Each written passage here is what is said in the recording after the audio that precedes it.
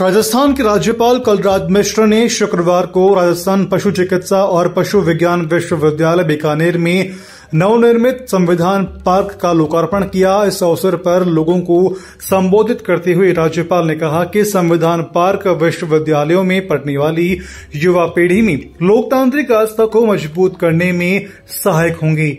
युवा राष्ट्र बोध से जुड़ करके देश हित में अपने कर्तव्यों के निर्वहन को भी प्रेरित होंगे। इसके अलावा उन्होंने पारंपरिक पशु चिकित्सा पद्धति व वैकल्पिक औषधि विज्ञान केंद्र भी उनका लोकार्पण किया। प्रदेश के राजकीय विश्वविद्यालयों में संविधान पार्क धीरे धीरे आकार ले रहे हैं।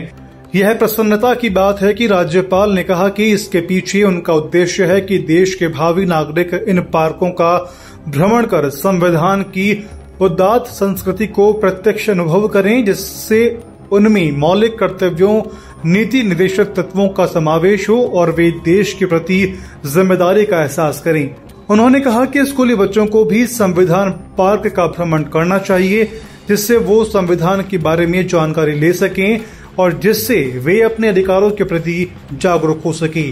बीकानेर के तीन दिवसीय दौरे पर संभागीय आयुक्त नीरज के पवन जिला कलेक्टर भगवती प्रसाद, कलाल पुलिस अधीक्षक योगेश यादव सहित स्थानीय जनप्रतिनिधि और अधिकारियों ने उनकी अगवानी की। बीकानेर से आनंद प्रताप आचार्य की रिपोर्ट।